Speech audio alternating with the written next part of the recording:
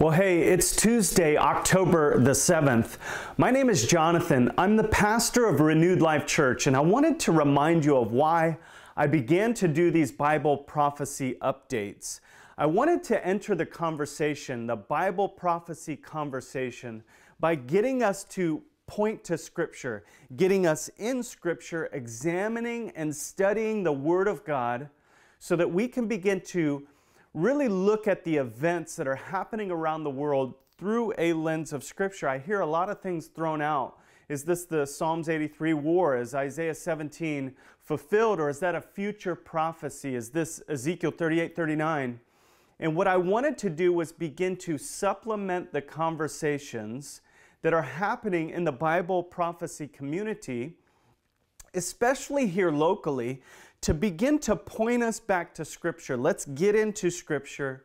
Let's examine and study Scripture together so that we can have a better understanding of God's Word, His heart, His nature, His character, and what He has planned for the future of this world, all to bring Himself glory.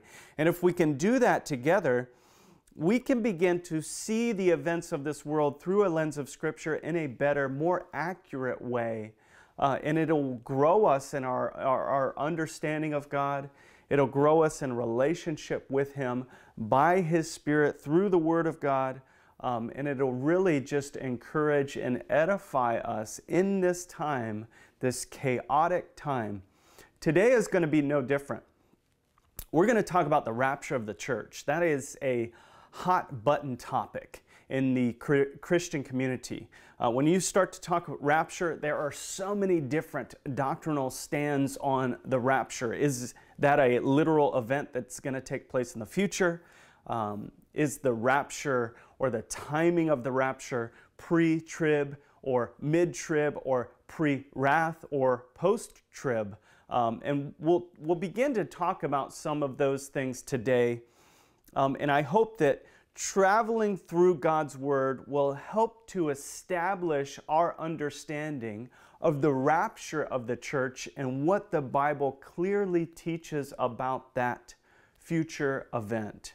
But first, I want to talk about what is going on or what is continuing to uh, happen there in the Middle East and Israel. In the Gaza Strip um, and, and the nations surrounding Israel, what's been happening there um, over the last several days. What's interesting, even this morning, as I look at reports there on the ground from the front lines, the Israelis, the IDF, have moved into Gaza, have taken up uh, significant ground in Gaza, have surrounded really Gaza City from three different uh, sides, and have split the north part of Gaza from the south part of Gaza. I talked about hostage rescue, and I talked about separating hostages from a hostage taker. And when I, when I create that separation through a, a tactical mean, through any uh, creative tactical means, I can exploit that moment of opportunity, move in and remove that hostage from the hostage taker, and have a successful hostage rescue. Well, the other part of hostage rescue, the other part of that tactical operation is establishing a corridor.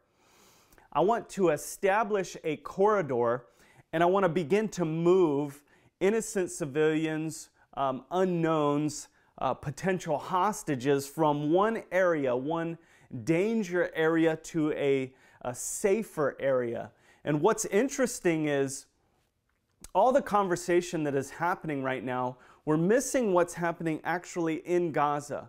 The, the Israelis, the IDF, have set up this corridor and are beginning to move more and more people from North Gaza to South Gaza.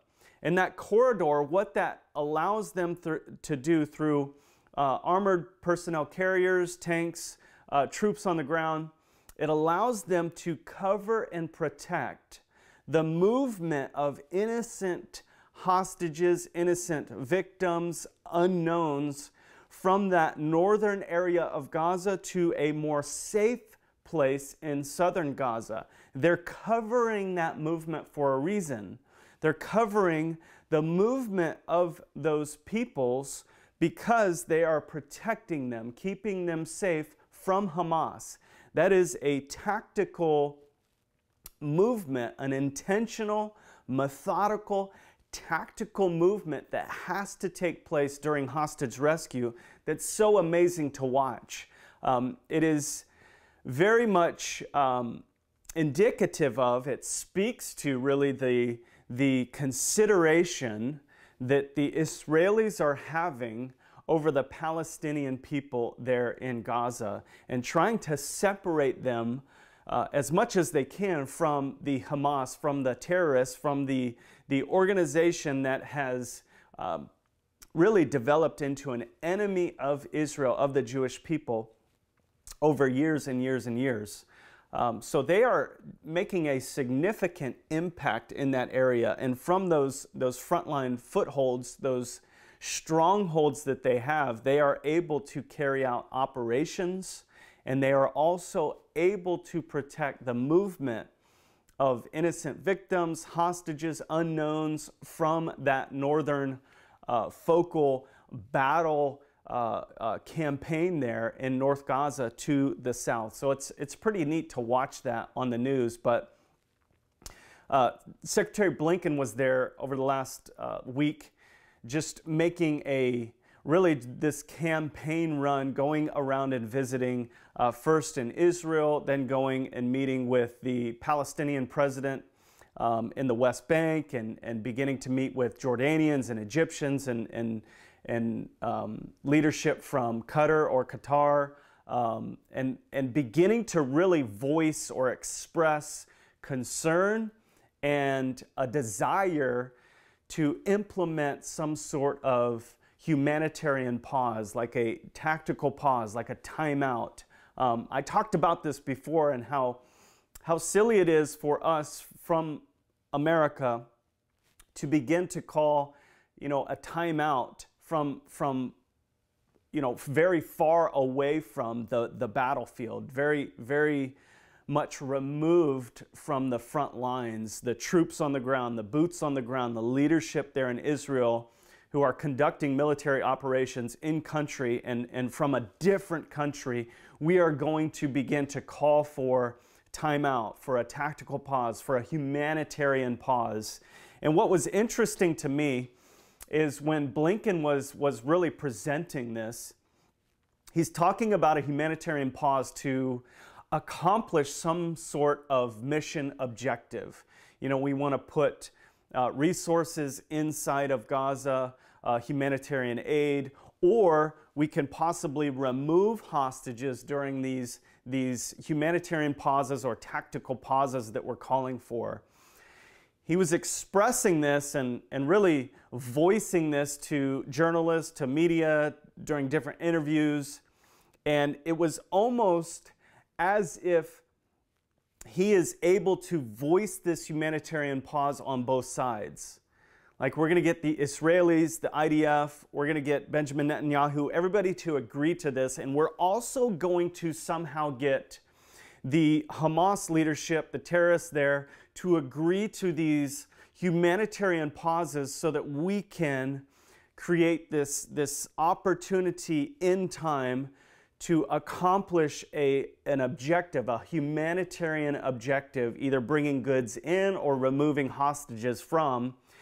And he was speaking almost like he could negotiate this between both sides. And I just thought that very interesting because on the Hamas side of things, on the terrorist side of things, there is no agreement to a tactical pause, a humanitarian pause. Hey, we're going to stop the fighting. Uh, their goal and objective is backed by an Islamic ideology that is completely opposed to the Jewish people. They are actually opposed to anybody on the outside of themselves, meaning uh, America would fit in there with, with the, a nation that they are against. They do not want Jewish people. They do not want American people. They want to wipe Israel off the face of the earth. They want to remove them from the map. Um, and they want to do that to America as well. So I just thought that very interesting. It's almost like this, um, you know, American arrogance that our leadership has right now, you know, where we would begin to think that we could somehow reach in and influence both sides of this conflict. Like we can control from America a tactical or humanitarian pause on the battlefield so that we can accomplish a humanitarian objective and make everybody feel better about it. And again, I just want to voice, you know, last week I said, man, I was actually pleased with and, and at least acknowledging the fact that our uh, administration here in America was not calling for a ceasefire. Now they've come up with this different language, this different lingo. There's a humanitarian pause that is being requested at different times, again, almost like they can control both sides of the conflict. Um, and I just think this is very silly. Um, it is very arrogant to, to think that we can control what is going on there on the ground, boots on the ground, trusting that the, the very competent uh, Israeli army, the IDF, and all of the resources that they have, they are capable of accomplishing their mission. Um, I also have been watching on the news and, and never thought that I would see this in my lifetime. And maybe that's complacency on my part, spiritual complacency, uh, biblical complacency, you know, understanding what the Bible says about the future, but really not uh, believing, you know, in my lifetime that I would see some of these things, you know, hoping to see them, uh, wanting to see the will of God fulfilled on this earth, but really, I think complacently, you know, not believing that these things would, would happen so quickly. As I've been watching the news, especially, you know, national news here in the United States, um, I just find it very interesting that we are having so many conversations about the nations that are surrounding, that are unifying against Israel. We're constantly watching this center uh, focal point, Israel. We're zooming in on Israel and we're looking at all the countries surrounding her and how they are completely opposed to anything that she is doing, anything that the Israeli army is doing. And there seems to be this ring around Israel that is pointing in towards Israel and are defiantly opposed to what Israel is doing in response to the terrorist attack uh, to their country on October the 7th. Um, and I just think that that is very interesting.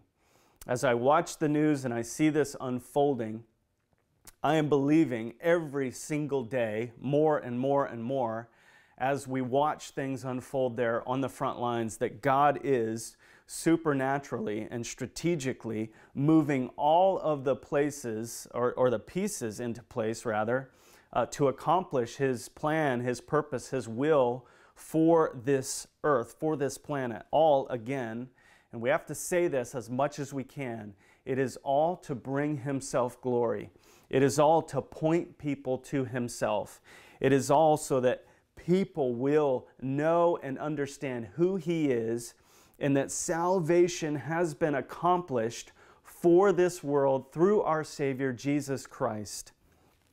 Speaking of our Savior, um, I love the topic of the rapture. I love talking about the rapture of the church.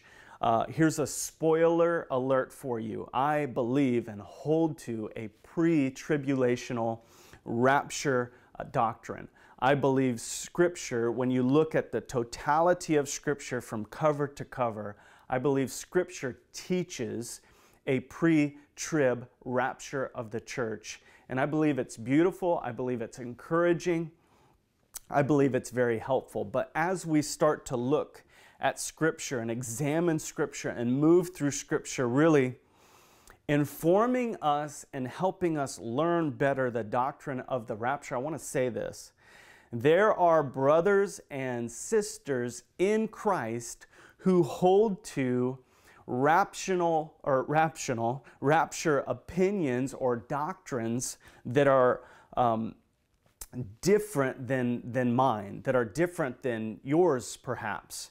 That's okay. We need to be okay with that. We need to understand there are people who are learning and, and, and trying and striving day in and day out to follow our Savior, to follow Christ, uh, to evangelize the lost, to share the name of Jesus Christ with their relational circles. We have brothers and sisters in Christ who are about the good work of our God, uh, who hold to a different uh, uh, rapture doctrine than ours uh, or, or yours, um, uh, especially mine. I understand that and I accept that. That doesn't mean that they are bad, that doesn't mean that they are off, that doesn't mean that they are avoiding or ignoring Scripture, that doesn't mean that I can elevate myself to a position of superiority over them and look down on them as if they have not arrived yet. Um, I can say, though, that we have plenty of time to convince them that they are wrong. And I'm, I'm totally kidding about that. But we need to love um, other followers of Jesus Christ who hold to a different rapture doctrine or opinion or perspective than ours. It's okay. Um, it is certainly okay. And we can begin to examine Scripture and really allow Scripture to infuse or inform what we understand about the rapture, what we understand about or hold to about the rapture.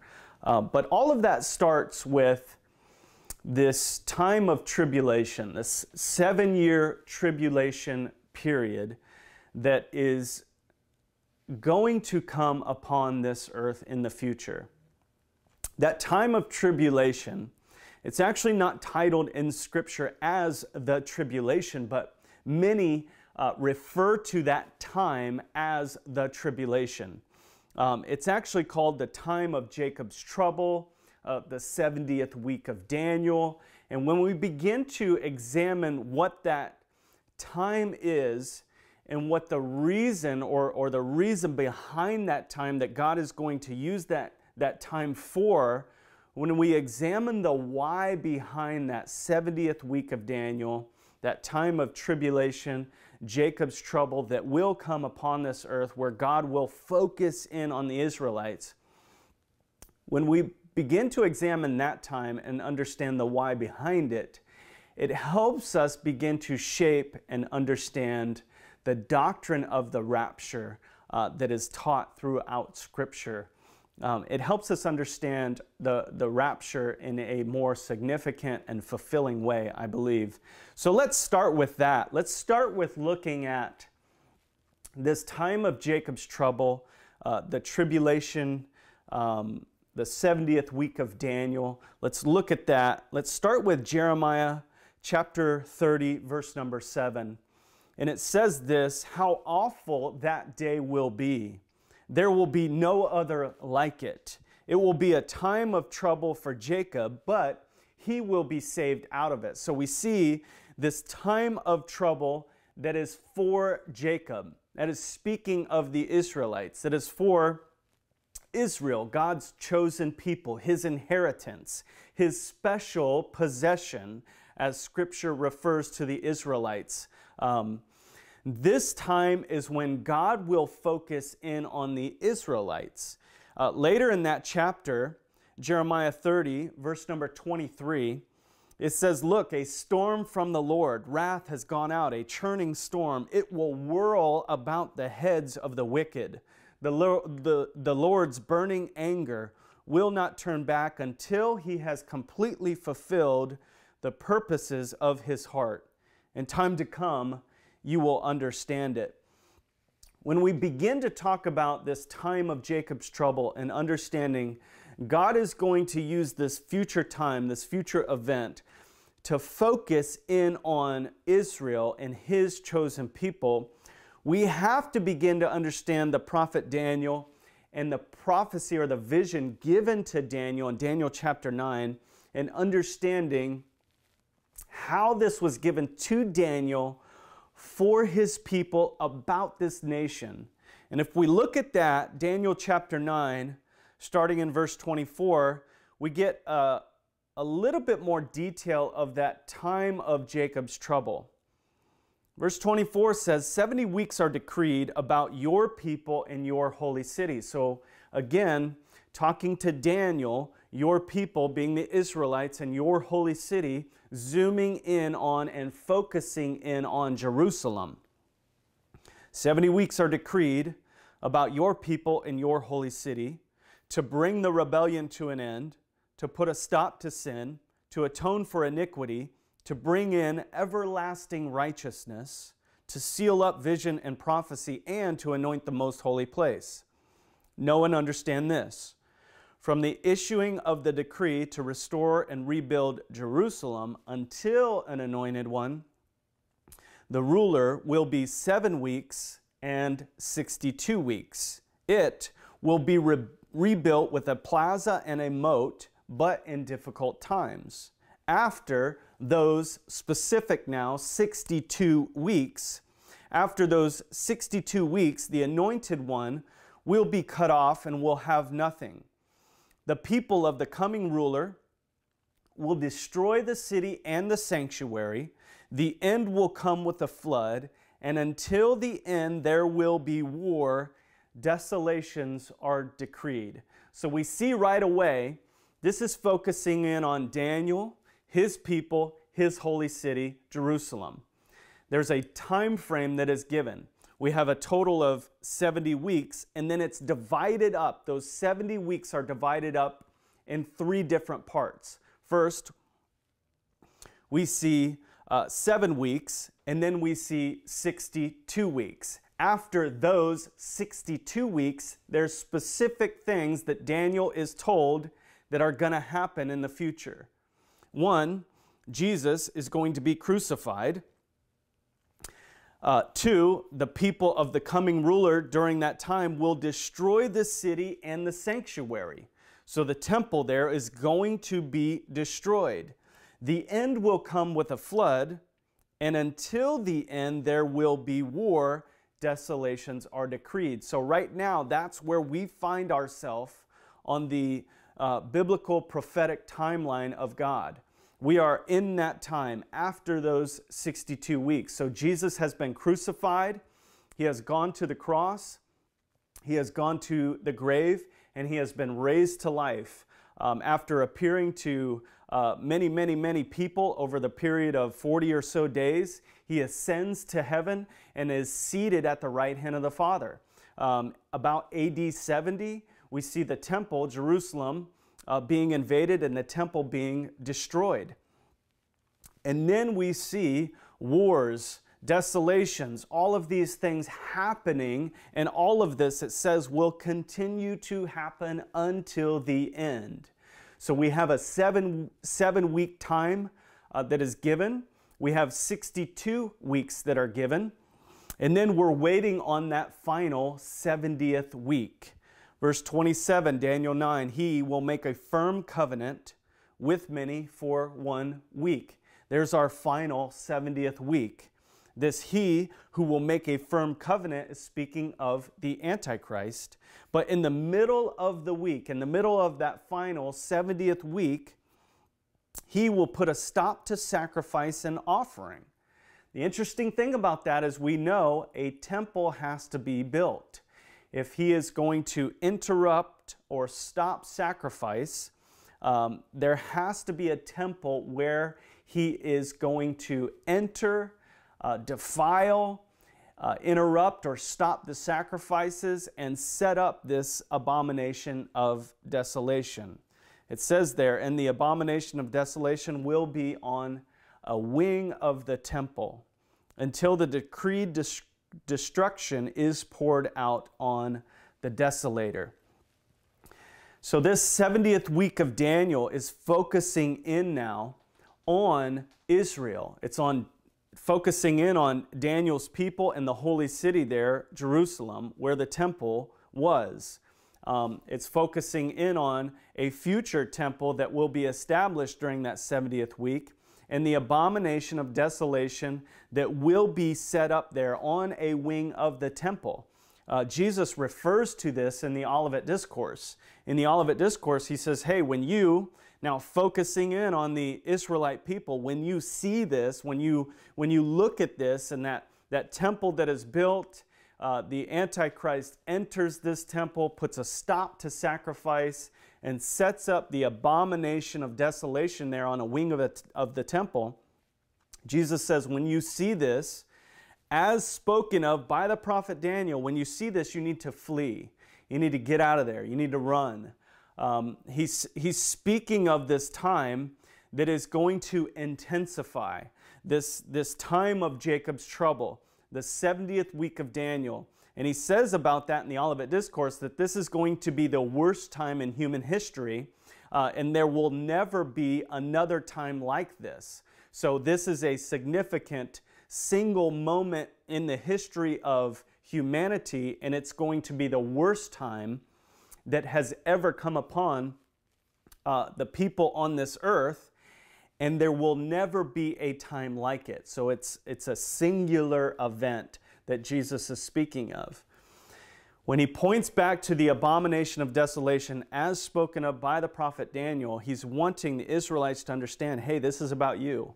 This is, uh, these 70 weeks have been decreed, Daniel, about you, your people, the holy city. So this is all about the Israelites. This is about uh, what is going on in country there, in Israel, in Jerusalem. Uh, and Jesus, during the Olivet Discourse, is focusing in on the Israelites, the Jewish people, and what is taking place there in the future in country. Many people want to use the Olivet Discourse and say, hey, this is where we need to go for rapture doctrine, rapture teaching.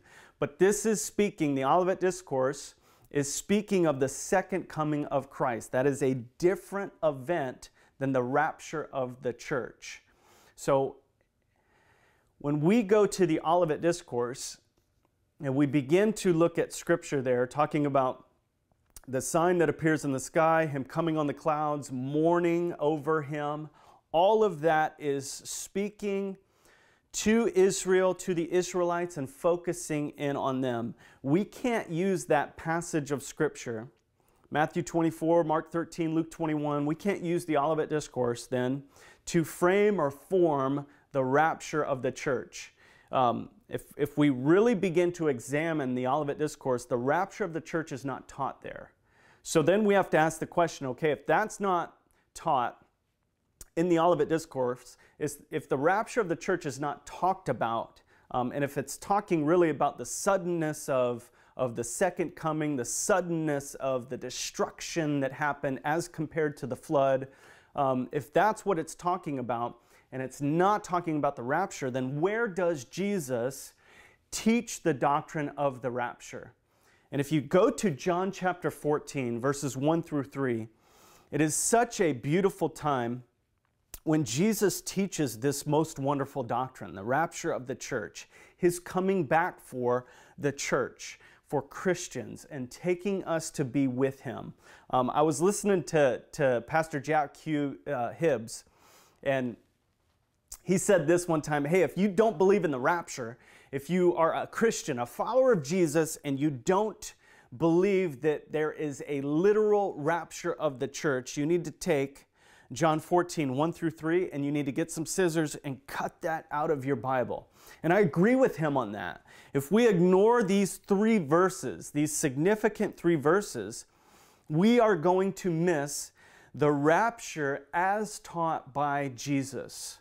John 14, verse number 1 says, Don't let your heart be troubled. I love that Jesus starts with that. Hey, I'm, I'm, I'm, he's wanting to comfort. He's wanting to give this this teaching, this doctrine, this understanding to his disciples, and then on down the generations now to us, as recorded for us in Scripture. And he's wanting this to be an encouragement. He's, he's wanting to, to give us the confidence that, that we don't have to have troubled hearts during this time. We can look to him and be confident in this promise that he is giving here. It says, believe in God, believe also in me. So you need to believe in God's plan. You need to believe in God's purpose. Believe in God's will for this earth and how it's all going to bring him glory. And Jesus says, Hey, believe in God, believe also in me. In my Father's house, he says, verse 2, are many rooms. If it were not so, would I have told you that I am going to prepare a place for you? So, if this was not true, if this isn't a reality, Jesus is saying, Would I have told you that I'm going to go and prepare a place for you? If, if this isn't true, why would I tell you then that I'm going to go prepare a place for you? In my Father's house, there are many rooms. That's the reality. And Jesus says, Because I have told you that I am going to prepare a place for you, that makes it true. Because he spoke it, he promised it with his words to the disciples, recorded for us in Scripture, and now for us to read and understand. He is saying, I told you, I'm going to prepare a place for you, which makes everything true. It makes this teaching here, this doctrine, true. Look at verse 3. If I go away and prepare a place for you, I will come again and take you to myself. You can almost read that uh, conditionally. If I go away. Did Jesus go away? Yes, he did. He ascended and is seated now at the right hand of the Father. And it says here, if I go away, that's been accomplished, and prepare a place for you. We know that's the reality because Jesus said that's what he was going to do. So if I go away, he says, and prepare a place for you. I will come again and take you to myself, so that where I am, you may be also. Jesus says, Hey, if all of these things are true that I'm telling you, if, if there are many rooms in my Father's house, I've told you that. I've told you I'm going to go prepare a place for you. And because I have spoken to you all of these, these truths, you know that this teaching now is true. It is 100% true.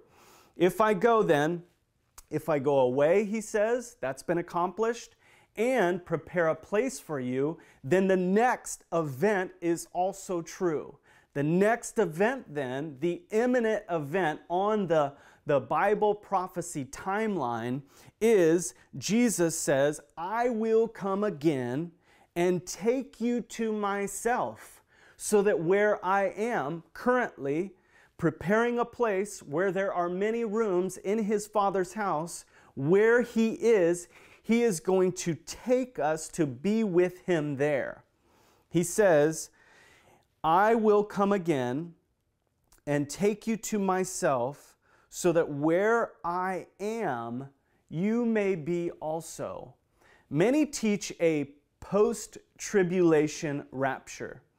That's the idea that Jesus comes back and, and right before his feet hit the ground, right before his second coming, when he uh, makes physical contact and lands on the earth again, right before that, uh, Christians are going to meet him in the air, um, be transformed and given their glorified, uh, immortal bodies. And then we will make this U turn and return to the earth with Christ. That basically says Jesus is, is coming back during his second coming. He's going to call us up into the air. We're going to meet him there. We're going to turn around and we're going to come right back down to this earth. That goes against what he teaches here in John 14, 1 through 3. He says, If I go away and prepare a place for you, I will come again, take you to myself, he says, so that where I am, you may be also. Why would Jesus go and prepare a place? Why would Jesus tell the disciples here, hey, in my Father's house are many rooms? Why would he make sure that they understood that reality, that, that physical reality, if we were not intended to go and take part in what and where he has been preparing for us? And I believe this teaches, John 14, 1 through 3, that Jesus is going to come back, take us to himself, and we are going to go to heaven so that we can be with him during the time of Jacob's trouble, during the 70th week of Daniel. I believe that's why Jesus is preparing a place for us for that time so that he can accomplish his plan, his purpose, his will for this earth, focusing in on Israel and entering into judgment with all of those nations, all of those people um, who are on the earth at that time who, who defy him, who oppose him, who reject him. Um, and if we read through the book of Revelation, we begin to understand there are significant things happening in heaven during the time of Jacob's trouble, during that 70th week.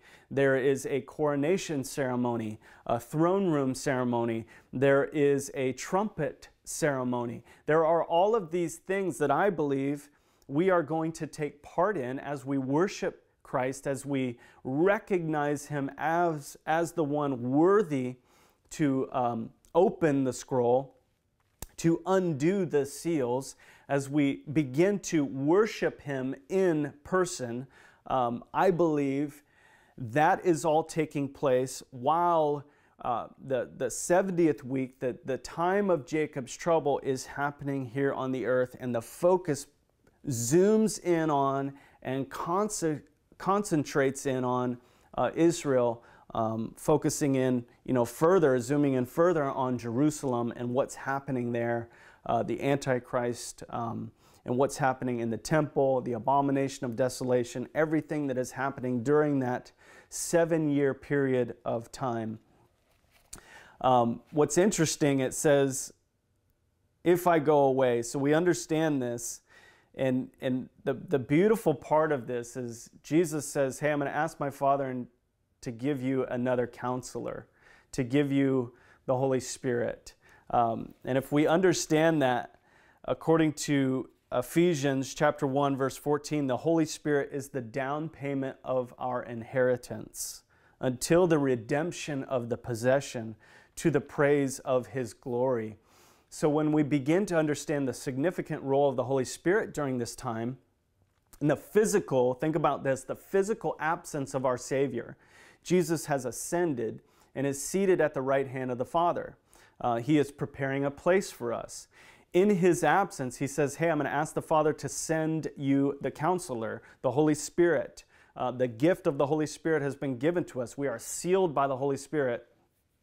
And Paul makes it very clear for us there uh, in Ephesians that the Holy Spirit is the down payment of our inheritance until the redemption of the possession. So the Holy Spirit is, is significantly working in the lives of, of followers of Jesus Christ, uh, a spiritual guide leading and guiding us into all truth through the Word of God, sanctifying us, uh, connecting us spiritually with Christ so that we are seated with Him in heavenly places, um, teaching us, um, growing us, sanctifying us, stripping us of ourselves, and, and really working in our lives to conform us more and more into the image of Jesus Christ. So, this is all happening while Jesus has gone away and is preparing a place for us. And then, when the Father tells him, hey, it's time, he is going to come back for his bride, for his church, and he is going to take us to, to himself so that we may be where He is also, so that we may be with Him, so that we can be with Him physically united with Him in heaven, in that place that He has been preparing for us. Uh, we're going to be there for a short time while He is focusing in on, again, and, and, and looking at or, or concentrating in on the people of Israel and this world, the people of this earth who have defied him and rejected him, entering into judgment with them. Um, and all of that happens before his second coming. So, how then does that, that moment in time take place? Well, Paul teaches us that so clearly in 1 Thessalonians chapter 4. Starting in verse 13, it says, We do not want you to be uninformed, brothers and sisters, concerning those who are asleep, those who have died, so that you will not grieve like the rest who have no hope. For if we believe that Jesus died and rose again, in the same way, through Jesus, God will bring with him those who have fallen asleep. And I've said this before. How is he going to bring with him those who have fallen asleep if they're not with him? If we don't understand that to be absent from this body is to be present with the Lord. And then in verse 15, he says, For we say this to you by a word from the Lord. In other words, Paul is saying, Hey, Jesus taught this most significant, most important doctrine of the rapture of the church. He is saying, We are saying this to you, we are teaching you this by a word from the Lord, from Jesus. He taught this. Many want to take this and say, okay, that goes back then to the Olivet Discourse, and that must be teaching not of a rapture, not of, not of a pre tribulational rapture, but of the second coming. I believe what Paul is pointing back to, the teaching that he is pointing back to, is John 14, 1 through 3. That was a significant teaching point in the lives of the disciples. It was recorded for us by the gospel writer there, the Apostle John.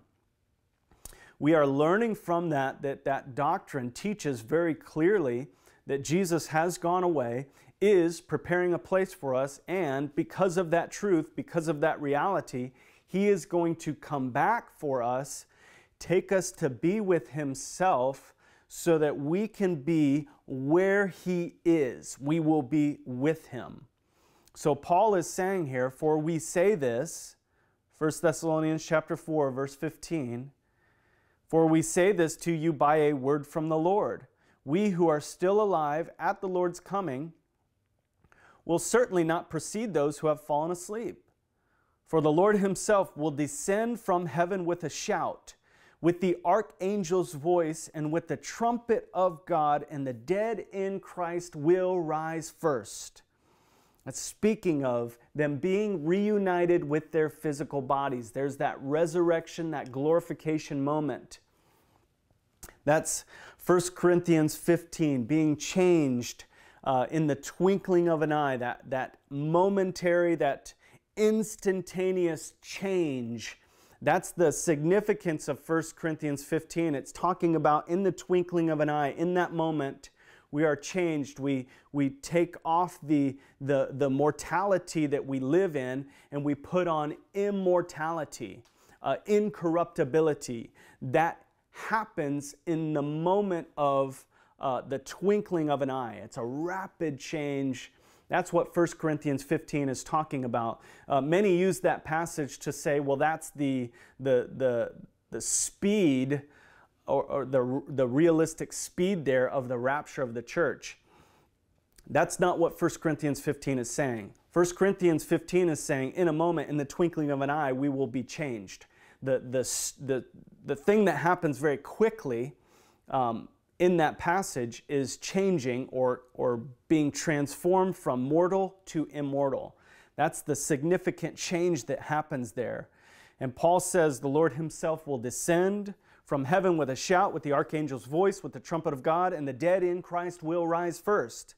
Then we who are still alive, who are left, will be caught up together with them in the clouds to meet the Lord in the air, and so we will always be with the Lord. So from that point in time and on, we will be physically reunited or physically united with Jesus. We will finally see him physically face to face. If we think about this now, we are spiritually united with him because of the Holy Spirit because of the indwelling of the Holy Spirit. It says, uh, Romans 8, that we are in Christ. Um, and because we are in Christ, uh, it says that we are seated with him. Uh, in another place in Scripture, we are seated with him in, in heavenly places. In the book of Ephesians, chapter 2, we are seated with him in Christ in heavenly places. So spiritually, we are united with Christ through the Spirit um, right now, but physically we are separated from Him. This moment in time that Paul is talking about here in 1 Thessalonians 4 is about our physical uh, uniting with Christ, being united with Him physically, and we will be with Him forever. We will always be with the Lord from that point in time and on. And Paul says, therefore, encourage one another with these words. Encourage one another with these words. These are words of encouragement. These are words that are supposed to uh, edify and build up and encourage and, and give us confidence as we look forward to the return of Jesus, as we look forward uh, to Him coming back for His church and being caught up with Him in the air. Uh, we, we, we do look forward to the return of Christ. We know that this is a truth uh, that you cannot deny. Um, you know, if you study the Bible, if you study Scripture, you cannot deny that the rapture is a literal event. You cannot deny the rapture of the church. The rapture is there. I was listening to something the other day and they said there's about 26% now of Christians who deny a literal rapture. And it was 30 something percent um, that believe in a pre or hold to a pre tribulational rapture. Um, and then there's you know smaller percentages that are broken up that begin to explain the rapture in other ways. Um, but I just thought that alarming that 26%, there's more than, you know, it's a growing number of Christians, followers of Jesus, are denying that the rapture is a literal, future, biblical, prophetic event. Um, and I'm just, I, I find that hard really to accept, to understand if we begin to look at Scripture and if, if this is taught and this is preached and this is you know, really expounded on, um, you know, from the pulpit and, and by pastors in churches today. If we begin to teach these things, it, it is supposed to be for our encouragement, for our edification. It is supposed to, you know, lift up our spirits. It's supposed to uh, point us to the future, you know, unification or uniting with Christ physically. I just, I, I, I can't imagine what that is going to be like. And again, that is an imminent event, meaning it will happen at any moment. Um, and I look forward to that. I was talking to my kids about this. My kids are, they are really just loving this doctrine. And my daughter asked, "Hey, Dad, do you think you know that the rapture of the church will happen in our lifetime?" And I said, "You know, baby girl, looking around the world at the events, it's it's really interesting to watch how things have been accelerated. Um, and I do believe that God is putting pieces in place to accomplish, again, His will, plan, purpose for this earth. And I just don't see how much longer um, we will be here. I really don't. Um, but then again, it could be another 50, it could be another 100 years, it could be another 200 years. Uh, the long sufferingness of our God is something that we just we don't fully comprehend. We scratch the surface um, at that. We have to understand always the, the heart of our God, the desire of our God is that all will be saved. Uh, he does not desire or, or want that, that anyone would perish, but that all would come to, to repentance, uh, that all would come to a place of calling on the name of Jesus and being saved. So if I know that's the goal and plan and purpose of our God, that's His heart, um, then I have to be just confident and waiting for His return and His timing uh, of the rapture. His timing of His return, coming back for the church, is completely up to Him. Um, and Jesus says, you know, the angels, not even, not even the Son knows, only the Father knows. So I, I do believe that Jesus is waiting um, for that word, that final word, hey, go get your bride. Um, and I, I do believe it's, it's um, well, I do believe it's, you know, it's soon. I just don't know when. Um, I do believe it's imminent. Let's just say that. It is an imminent event, meaning it can happen at any moment. Um, Titus chapter 2, I love this. Verse number 11, it says, For the grace of God has appeared bringing salvation for all people, instructing us to deny godlessness and worldly lust and to live in a sensible, righteous, uh, and godly way in the present age. That's how we're to live right now. While we wait, while we wait for the blessed hope, the appearing of the glory of our great God and Savior, Jesus Christ. So, that, folks, is what we are doing. We are living uh, in a way that is pleasing to God, submitting to His authority, learning to follow Him, learning to you know, submit to the, the, the leading and the guiding of the Holy Spirit in our lives while we wait for Christ's return, while we wait for the appearance of His glory, while we wait for Him to come back for His church. Um, and that is referred to by many as the blessed hope. And I, I really like that. I'm really encouraged by that. I think it's just such a, a beautiful understanding of Scripture. Uh, that that is something that we should be looking forward to as the church, uh, as Christians. We should be constantly looking forward to meeting Jesus face to face and knowing that He is going to bring with Him those who have died, those who are in Christ and have died, have passed away. He's going to bring them with Him. That's going to be a, a beautiful reunion for many, many, many Christians.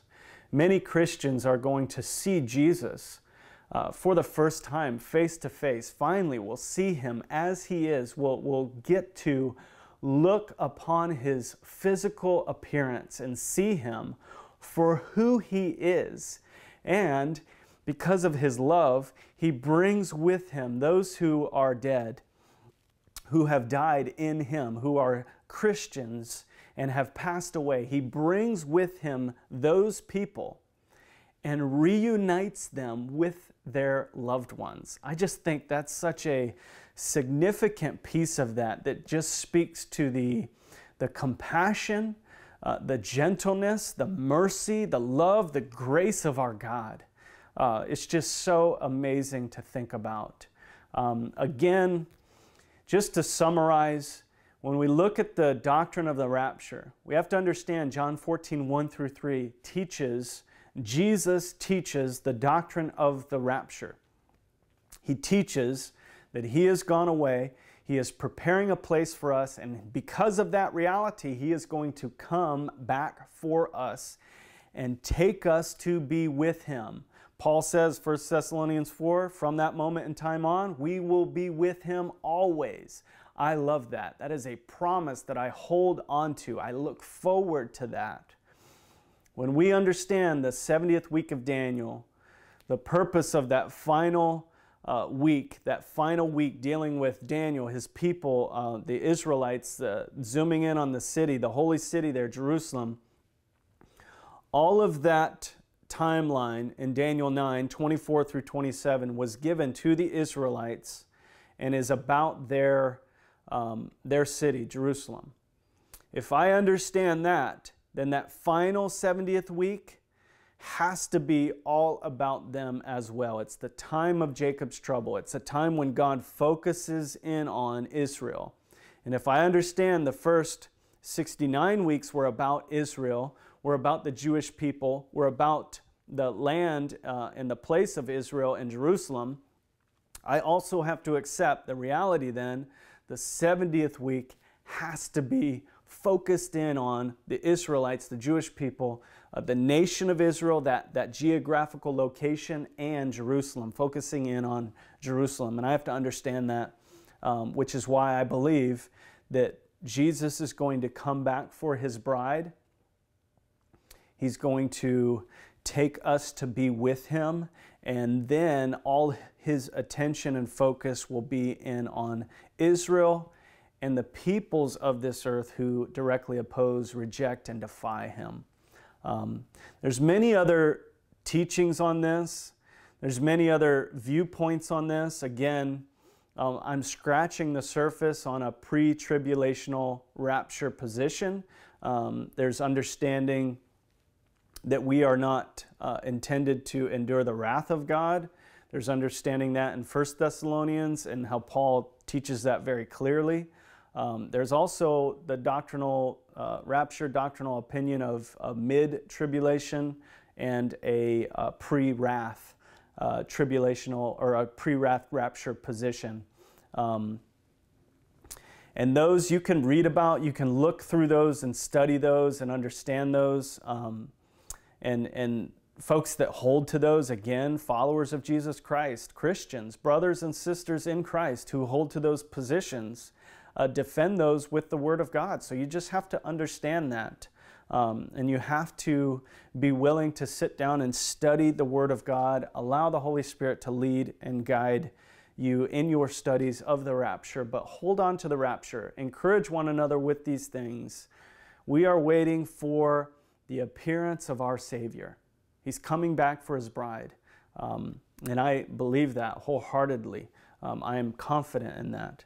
Um, I want to just share with you a couple of resources. First of all, this this book is The Falling Away, uh, The Falling Away, uh, Spiritual Departure or Physical Rapture. And this is by Dr. Andy Woods. It's 40 something pages. It's a short read. It's a very good uh, teaching tool and learning tool for us. Um, it goes over Second Thessalonians chapter 2, verse number 3. This is a 40 something page book on one single verse, um, really zooming in on one word, the apostasy. Uh, the Greek word there, apostasia, um, and if that means, um, you know, rebelling or falling away spiritually, or if that means the rapture of the church. Um, and Dr. Andy Woods gives some great insight to that, some great teaching on that. I would recommend um, just ordering this book. I'll put a link to it in the description of this video so that you can grab that book. Another book by Don Stewart. He's a Calvary Chapel pastor. Uh, he's done a lot of good teaching.